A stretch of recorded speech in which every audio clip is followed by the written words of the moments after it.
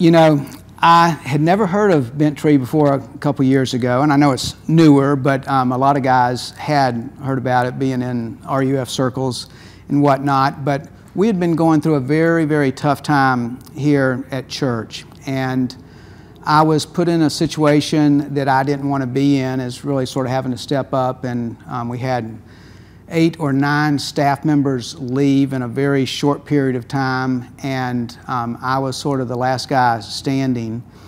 And it was not just physically tiring, it was emotionally um, absolutely draining.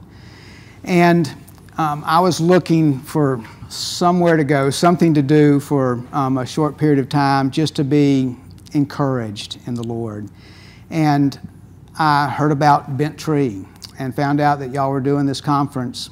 Um, so I got one of my buddies, Dan Faber, and said, Hey, would you go to this with me?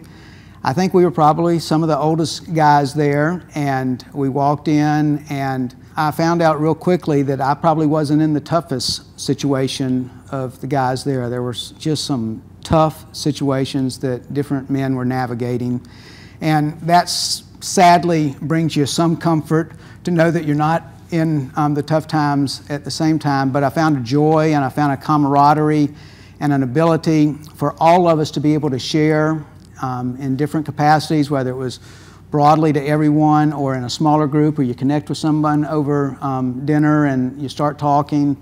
And so it was just a time of great encouragement to me at a very low time um, in my life and my ministry and my family. Um, God used it tremendously, and I love Bent Tree and what, what you're doing.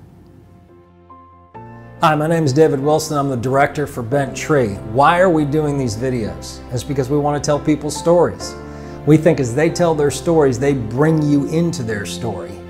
And we think that if you hear their stories, maybe you'll have the courage to tell yours, or that you'll ask other people about theirs. We think this is a, a worthwhile ministry for you to invest in. If you'll see at the end of these videos, there'll be a link for you to see if you could donate to us. We sure could use the help. Thank you.